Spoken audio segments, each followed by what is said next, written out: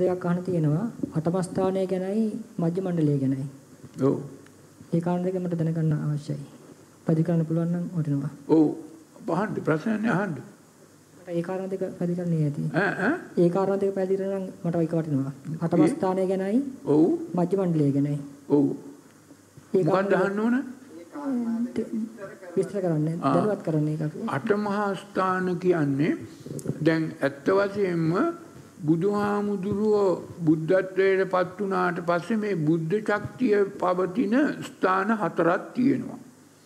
ඒක බෝසත්තුමා උපන් මහා පරිනිබ්බාන සූත්‍රයේ 95 වෙනි ඡේදයේ කියනවා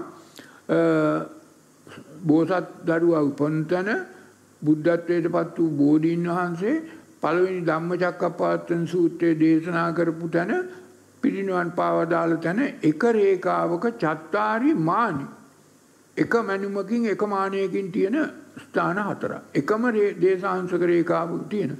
ඊට පස්සේ බුදුහාමුදුරුවෝ වැඩ ඉන්න කාලේ බුදුහාමුදුරුවෝ මේ තවත් හතරක් ඒ කියන්නේ බුදුහාමුදුරුවෝ වැඩ හිටිය වේළුවනාරාමයේ මුල් අවුරුදු 20 දෙවෙනි අවුරුදු 22 තුන වැඩ හිටිය ජේතවනාරාමය බුදුහාමුදුරුවන්ගේ සිරිපතුල පළමුවෙන් පිහිට වූ ශ්‍රීපාද ස්ථානය සහ තවත් අර උත්තරාරාමය මේ කපිලාරාමය.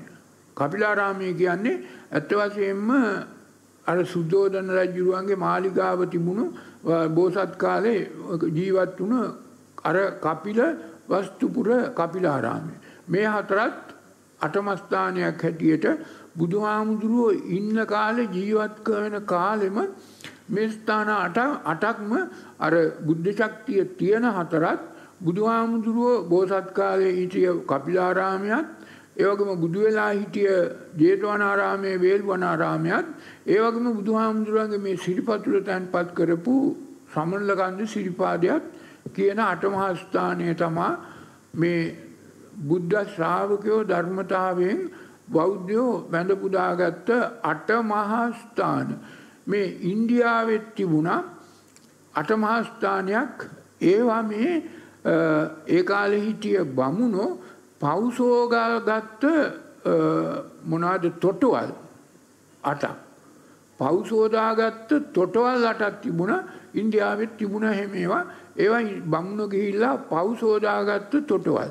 නමුත් මේ ධර්මාශෝක රජුරුව මේ දිග්විජය කරලා ඊට පස්සේ යටපත් වුණාට පස්සේ ධර්මාශෝක රජුරුවොත් මේ නිග්‍රෝධ අරහතුන් වහන්සේගෙන් කුඩේ අරහතුන් වහන්සේගෙන් මේ ධර්මයේ දැනගෙන මේ අටමහා ස්ථානය පිළිබඳව යම් අදහසක් ආවා මේ හෙළබිමේ මේ ජම්බුද්දීපේ මිනිස්සු අටමහා ස්ථානයක් වඳිනවා මේ ධර්ම රාජ්‍යය තුල අටමහා ස්ථානයක් තියෙනවා කියලා. ඒගමන ධර්මාශෝක රජුරුව බමුණන් එවලා පුරෝහිතයන් එවලා මේ අටමහා ස්ථානය පිළිබඳව තේරුම් අරගෙන ඉන්දියාවෙත් මේ ධර්ම රාජ්‍යය තුල කෘතිම අටමස්ථානයක් හැදුවා. හදලා ඒවා මේ යම් යම් ආකාරයකට මිනිස්සුන්ට මේ ධර්ම රාජ්‍යයේ මිනිස්සුන්ට මොකද චන්දාශෝක රජුරුව දිග්විජය කළා ඉවරුණාට පස්සේ මේක ධර්ම රාජ්‍යයක් කරන්න ඉන්දියාවේ කෘතිම අටමස්ථානයක් හදලා ඒ අටමස්ථානයේ මිනිස්සුන්ට බෞද්ධයන්ට හැටියට ඉන්දියාවේ බෞද්ධයන්ට වැඳ පුදා ගන්න අවස්ථාව ලබා දුන්නා. ඒකින්ද ඉන්දියාවෙත් යම් ආකාරයකට පස්සේ කාලෙක කෘතිම අටමස්ථානයක් හකස් කළා. නමුත් මෝගල් අධිරාජ්‍යයේ මෝගල්වරු එහෙම නැත්නම් ඔය පර්සියන් කාරයෝ ඉන්දියාව දෙවෙනි වරට ආක්‍රමණය කරන කාලේ ඒවා මේ මුස්ලිම් කාරයන්ටත් හින්දු කාරයන්ටත් ඒ අටමස්ථානයේ යටපත් වෙලා නැති වෙලා වැහිලා ගියා. ඒකයි උනේ. ඒක තමයි අටමස්ථාන. අවසරයි ස්වාමීන් වහන්සේ. මට දැනගත යුත්තේ